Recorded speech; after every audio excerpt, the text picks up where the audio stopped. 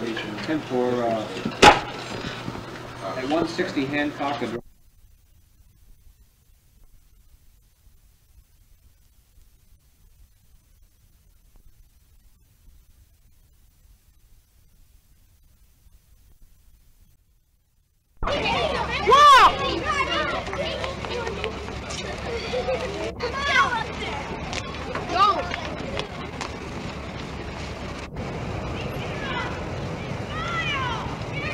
We're uh, trying to keep our route.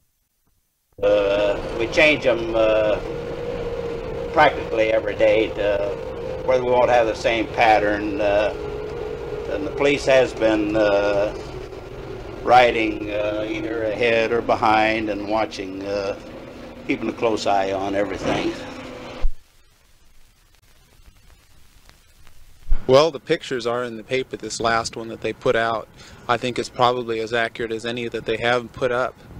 Uh, since this last threat about the school bus, uh, we don't know what's going to happen, uh, what his mode of operation is, or anything.